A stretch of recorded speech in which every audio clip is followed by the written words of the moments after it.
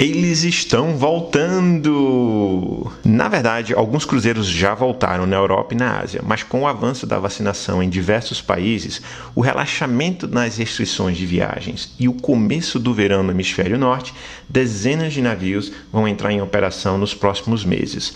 Mas nem tudo são flores, e agora a gente vai falar sobre tudo isso em mais um Cruise News. Meu nome é Diogo, sou tripulante, escritor e nômade digital, e você está no canal de viagem viagens mais antigo do Brasil. Por aqui você vê vídeos sobre cruzeiros, países exóticos e experiências incríveis ao redor do mundo. Se você gosta desse tipo de conteúdo, já se inscreve no canal e ativa o sininho abaixo para ser notificado sempre que sair vídeo novo. Este vídeo é patrocinado por. Não, nós não temos patrocinadores. Ou será que temos? Apresento a vocês o nosso livro Todos a Bordo Incríveis Histórias Vividas por Tripulantes de Cruzeiros, o qual eu sou um dos autores. Essa maravilhosa obra acabou de ser lançada no Brasil e aqui contamos os segredos da nossa vida de tripulante. Se você quer saber o que acontece nos bastidores dos navios, já pode adquirir o seu livro nos comentários desse vídeo abaixo. Tenho certeza que vocês vão se divertir, se emocionar e se inspirar com nossas histórias em alto mar.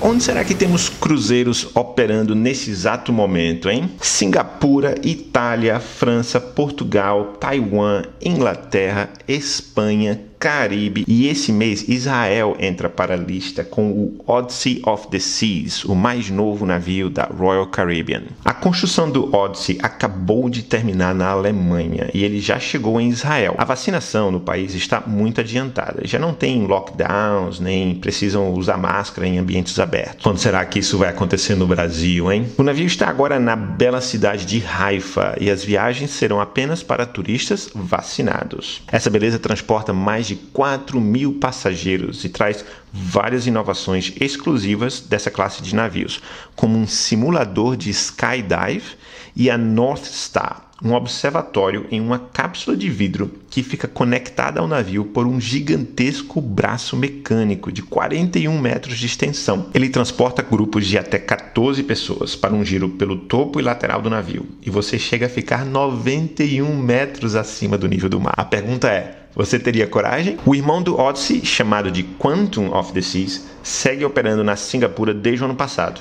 Ele já transportou cerca de 200 mil passageiros, sem nenhum surto de coronavírus. Até o meio do ano, a Royal Caribbean estará operando seis dos seus navios. Um deles será o Athens of the Seas, outro gêmeo do Odyssey e do Quantum, em cruzeiros na Inglaterra. Outros dois navios estão programados para junho em viagens nas Bahamas e nas Bermudas. A empresa informou que tem mais planos para Europa e Ásia, mas ainda não revelou os detalhes. Além da Royal, outras empresas anunciaram seu retorno em viagens pelo Caribe no meio do ano, incluindo Celebrity Cruises e Crystal Cruises. Eu falei mais sobre isso no último Cruise News aqui no canal. Vou colocar o cartãozinho aqui em cima para vocês assistirem depois. Ah, e aproveitando para lembrar que se você não quer perder nenhuma novidade dos cruzeiros, precisa seguir o meu canal no Telegram, o Cruzeiros e Destinos, onde publico vídeos, dicas, notícias. Para quem não conhece, o Telegram é uma espécie de WhatsApp, porém muito melhor, mais seguro, com mais privacidade e mais recursos. E por lá eu passo tanto os links dos vídeos novos que entram aqui no canal, como algumas outras notícias e dicas interessantes para vocês. E nos Estados Unidos, o maior mercado mundial de cruzeiros, a situação por lá acabou virando disputas políticas e brigas judiciais. Isso porque o CDC, que é o equivalente à Anvisa deles, já liberou quase tudo ao redor do país, como parques de diversão, cassinos e até viagens internacionais, mas não os cruzeiros. A vacinação por lá está rápida, com 2 milhões e 200 mil doses por dia, e até adolescentes de 12 anos já podem se vacinar. Isso vem derrubando os casos de infecções e internações. Então o país já reabriu a economia e reativou a indústria de turismo. Mas os cruzeiros estão tendo que brigar nos tribunais para operar. Tem várias disputas acontecendo entre partidos políticos, órgãos do governo, estados e você achando que só no Brasil que tinha brigas políticas, hein? O problema é que quem paga o preço disso são as dezenas de milhares de pessoas que dependem dessa indústria para o seu sustento, incluindo tripulantes e as cidades de destino. O estado do Alasca, por exemplo, que depende dos turistas que chegam de cruzeiros, está com sua economia arrasada. Depois de perder o ano inteiro de 2020, agora estão correndo o risco de perder mais uma temporada. chegou ao ponto de empresas de cruzeiros fazerem doações ao Estado para ajudar as famílias que perderam seus negócios. A maioria das empresas de cruzeiros, como a Royal, Norwegian e a Carnival, tem planos para voltar a operar entre julho e agosto. Vamos ver se as autoridades entram num acordo e isso acontece mesmo. Enquanto isso, algumas empresas continuam buscando outros destinos para os seus navios, e um país que vem atraindo muitos deles é a Inglaterra. A cidade de Southampton já tem 10 cruzeiros confirmados para o verão britânico, incluindo da Royal Caribbean, MSC, Disney, Celebrity e Princess. As viagens serão principalmente por Inglaterra, Escócia e Ilhas Britânicas, para passageiros devidamente vacinados. O navio que terá a honra de abrir a temporada será o Virtuosa, novíssimo cruzeiro da MSC, para cerca de 6 mil hóspedes. A viagem inaugural será agora no dia 20 de maio, a partir de Southampton. A segunda colocada entre as cidades que mais terão cruzeiros nos próximos meses é Atenas, com oito navios confirmados até agora. Entre as empresas que anunciaram embarques na capital capital grega, temos Celebrity, Seaborn, Norwegian e Celestial. Já tem alguns cruzeiros acontecendo pela Grécia com a TUI Cruises, que até agora transportou 80 mil hóspedes desde que voltou ano passado, sem nenhum incidente a bordo. Na Itália, os cruzeiros também voltaram desde o ano passado e mais navios vão entrar em operação no meio deste ano. A MSC sozinha está com cinco navios para o verão italiano e no total a empresa tem 10 navios programados pela Europa. A outra empresa italiana, a Costa, também já voltou a operar com um navio e pretende aumentar a oferta no verão. Não podemos esquecer da Alemanha, primeiro país europeu onde os cruzeiros voltaram ano passado. As principais empresas alemãs seguem operando e pretendem aumentar o número de navios nos próximos meses. E uma notícia muito boa para os nossos amigos portugueses é que foi, acabou de ser inaugurado o World Voyager, cruzeiro de expedição construído em Portugal. As primeiras viagens partiram das Ilhas Canárias com turistas alemães. Esse é o segundo navio de uma série de três a serem construídos em Portugal. Depois, outros três cruzeiros de expedição para a empresa Mystic Cruises serão construídos até 2024 no mesmo estaleiro português, que fica na região de Viana do Castelo, no norte do país.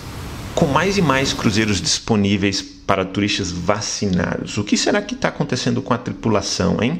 Será que os profissionais também estão recebendo vacina? A resposta é que sim, muitos tripulantes estão sendo vacinados em diferentes países. Nos Estados Unidos, as empresas vêm organizando isso com os portos, e em Miami, por exemplo, centenas de tripulantes receberam a primeira dose esse mês. A MSC anunciou que vai começar a vacinar a tripulação na Europa também, e a Royal Caribbean já começou a vacinar a tripulação do Odyssey of the Seas em Israel. Para os tripulantes em terra, se perguntando se serão chamados de volta ao trabalho, mesmo sem tomar a vacina no seu país, a resposta é sim. Inclusive, muitos brasileiros já foram chamados. Mas se a gente não conseguir controlar a situação por aqui, as empresas podem parar de chamar brasileiros devido ao alto risco de contágio. Esse mês, por exemplo, a Royal Caribbean informou que, por enquanto, não chamaria tripulantes indianos, sul-africanos e brasileiros. Mas alguns dias atrás eles informaram que vão voltar a chamar, porém com um novo protocolo de saúde mais rígido, que inclui um período maior de isolamento e mais testes. As outras empresas não anunciaram nada a respeito e continuam chamando brasileiros. A propósito, se alguém aqui quer trabalhar em navios de cruzeiros ainda esse ano, eu vou trazer uma novidade incrível para vocês, mas que eu não posso revelar ainda. Para não perder nada, vocês vão fazer o seguinte: tem um link aqui abaixo para o canal no Telegram do Projeto Tripulante. Acompanha lá no Telegram porque eu vou avisar primeiro por lá do que se trata essa novidade. Olha, Vale a pena, hein? Mas segredo por enquanto. Ainda esse mês eu revelo para vocês. Quase todo dia eu recebo perguntas sobre quais são os nossos planos para os cruzeiros. Bem, se tudo der certo, estaremos voltando a bordo em junho, no novo cruzeiro de expedição da Crystal Cruises, na Alemanha, onde o navio está sendo construído. Era para a gente ter inaugurado o Crystal Endeavour ano passado, mas agora ficou para julho. Para apenas 200 hóspedes e 200 tripulantes, o Endeavour tem capacidade de quebra-gelo e com ele podemos visitar lugares isolados onde os cruzeiros grandes não chegam. Vamos oferecer passeios de helicóptero e até submarino. É isso mesmo, submarino tem no cruzeiro. Com roteiros que incluem África, Brasil e Antártica. A inauguração será na Islândia, com pacotes a partir de apenas 33 mil reais o casal. E as reservas estão quebrando o recorde. Olha, estarei compartilhando tudo em tempo real com vocês pelo Instagram. Então segue por lá para não perder nada. Enquanto isso, aqui no Brasil não temos nenhuma novidade desde o nosso último vídeo de Cruise News. A temporada continua prevista para começar em outubro e será dominada por Costa e MSC. Você já reservou a sua viagem? Então precisa clicar nesse vídeo aqui onde fizemos um duelo entre MSC e Costa. Qual será que levou a melhor, hein? É só clicar para assistir. Ou você pode querer assistir esse outro vídeo aqui, onde eu falo dos cruzeiros mais luxuosos do mundo, inclusive o que eu vou inaugurar.